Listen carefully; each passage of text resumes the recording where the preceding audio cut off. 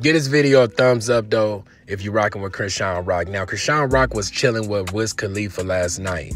So Blueface was jealous, upset about it. You we already know how he get down though. But Wiz Khalifa was giving her high praise, saying that he always loved her music and stuff like that. Now, the the narrative to this story is is that Wiz Khalifa and Blueface is actually friends though. So what you think friends supposed to do?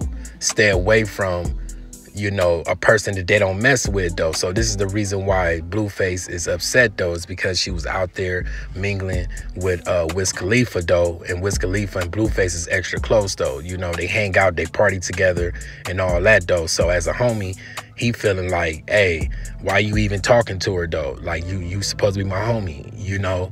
But at the end of the day though, man, Wiz Khalifa is gonna be Wiz Khalifa. He just giving Chrisean Rock high praise though. That's all you know. Uh, but you know how Blueface is, though. You know he take it, he take everything the wrong way.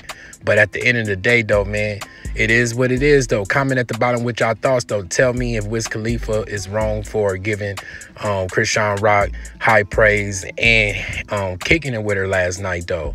Um, let me know in the comment section though. I really will love to hear y'all guys' opinion though. But at the end of the day though, man, you know, um, Chrisean trying to go to the next level though. So her job is to to mingle and um have conversations with people though. But Blueface feels like Wiz Khalifa had no business even talking to her though. That's all that is, you know, because they are homies. That's facts though. In real life, Wiz Khalifa and Blueface is homies.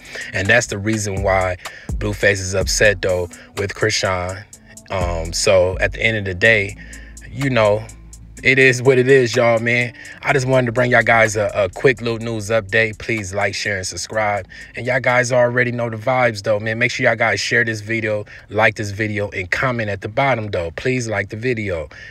Till next time, I'm gone.